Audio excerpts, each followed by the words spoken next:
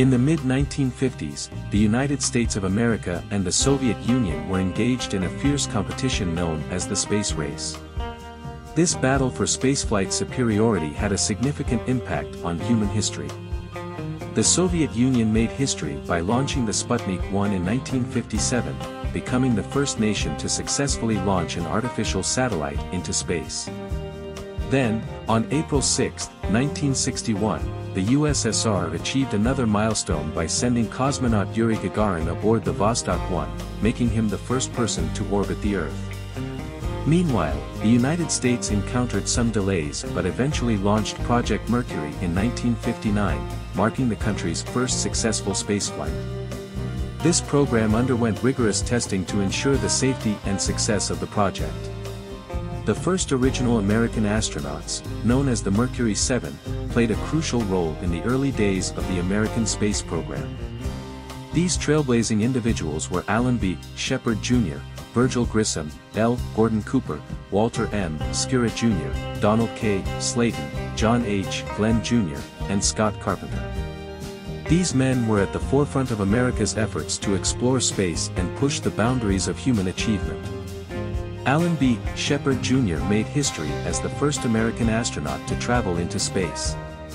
A close-up image shows him inside the Mercury capsule at Cape Canaveral, Florida on May 5, 1961.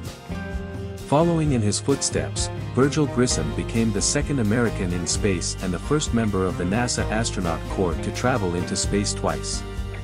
L. Gordon Cooper piloted Mercury's final and longest spaceflight in 1963, becoming the first American to sleep in space during their 34-hour mission. Walter M. Schirra Jr. made his mark as the ninth man and the fifth American to travel into space. He flew the Mercury Atlas 8, Sigma 7, during a six-orbit mission lasting 9 hours and 13 minutes on October 3, 1962. Donald K. Slayton was originally designated to fly the Mercury Atlas 7, but due to an erratic heart rate, his flight was grounded, making him the only member of the program who never flew into space. John H. Glenn Jr. made history as the first American to orbit the Earth, piloting the Mercury Atlas 6 on a mission to orbit the Earth three times on February 20, 1962.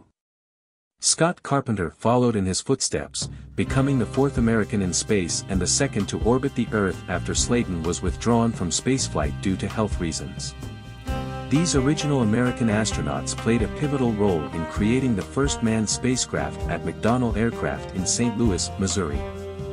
Their achievements and contributions to the early days of the American space program are a testament to their bravery and pioneering spirit. These vintage photos serve as a reminder of the incredible accomplishments of the first American astronauts and the historic era in which they made their mark on space exploration.